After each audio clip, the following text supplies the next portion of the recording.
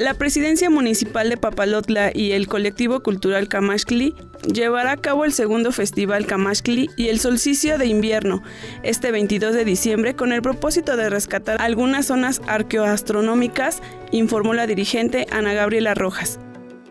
Aquí nosotros estamos haciendo difusión de este municipio principalmente por sus marcadores arqueoastronómicos y sitios arqueológicos que posee y que no se han dado a conocer lo suficiente como para poder revalorarlos.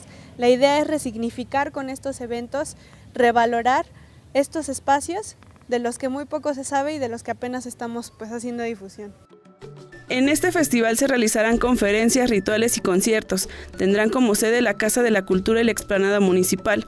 El evento más importante será el avistamiento de caída del sol en marcador solar, el cual se llevará a cabo a las 6 de la tarde en la Explanada. Gira Álvarez, integrante del colectivo cultural Camashcli, detalló.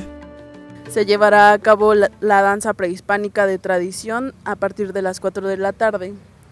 Después a las 6 de la tarde el avistamiento de la caída del sol en el marcador solar. Resaltaron que uno de los principales lugares arqueológicos y que quieren rescatar es el Cerro de la Luna.